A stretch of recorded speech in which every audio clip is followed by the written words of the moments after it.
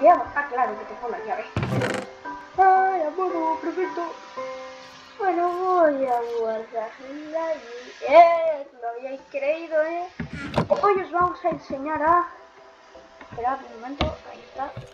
Hoy os vamos a enseñar a cómo bloquear vuestros cofres.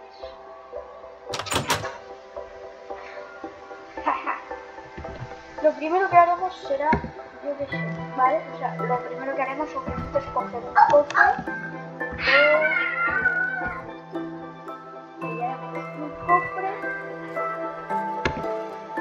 lo colocaremos, lo pone a un, a un bloque de distancia y colocamos lo siguiente barra data merge block coordenadas que son las que ponen aquí. Luego colocamos el paréntesis con punta si no me equivoco. Paréntesis con punta el paréntesis con la puntita y ponemos lo siguiente. Lock vale luego dos puntos y entre comillas colocamos el nombre ¿sabes de esto? de la clave que por ejemplo yo pondré llave 2 ¿vale? llave 2 siempre más ¿no?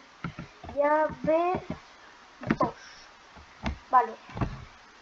Luego de nuevo entre comillas y cerramos el paréntesis.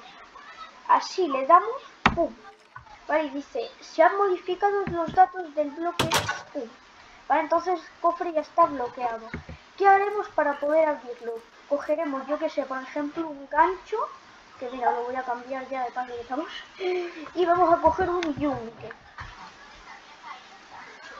Vale y haremos un yuncazo.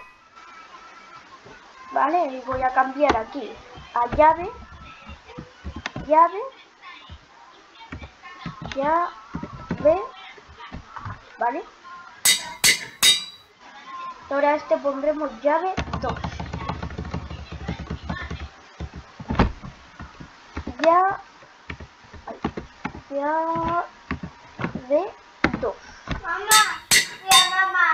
¿Veis? Entonces Mamá. con esto ya aquí Mamá, mira mamá. ya podemos Mira. quitar los objetos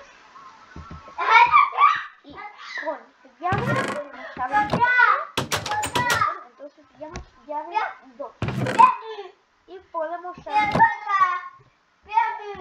bueno gente espero que os haya gustado el tutorial de cómo bloquear vuestros cofres sin mods y